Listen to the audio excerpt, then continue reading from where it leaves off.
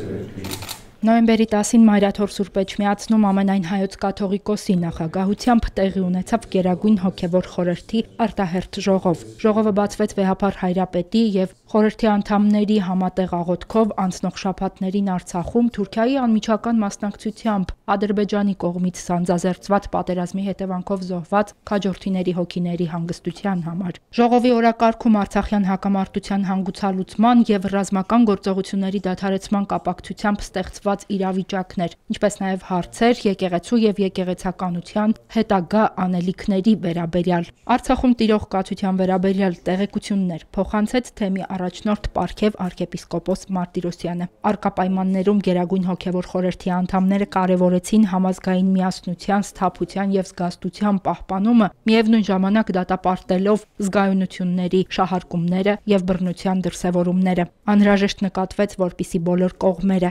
իրադարձ իրադարձությունների գնահատման եւ հետագա զարգացումների առնչությամբ զերծ մնան քաղաքացիական բախումներ հրահրող, ապակայունացնող հռետորաբանությունից։ Ըստ այդմ էլ ընդգծվեց այս բարդ իրավիճակի կարգավորման անհրաժեշտությունը միմիայն քաղաքական գործընթացներով, իրավասու եւ կարող ուժերի համընդհանուր ջանքերով։ Այս առումով շեշտվեց նաեւ հայոց եկեղեցու կարևոր առաքելությունը՝ ի նպաստ ազգային համերաշխության ու փոխըմբռնման մթնոլորտի զորացման։ Քննարկվեցին զինվորականների, վիրավոր զինվորների եւ նահատակ մարտիկների ընտանիքների հետ եկեղեցականների հովվական աշխատանքի, Արցախի բնակավայրերից տեղահանված ընտանիքների կարիքների հոգացությանը եւ հոգեվոր խնամքի կազմակերպման առնչվող խնդիրներ։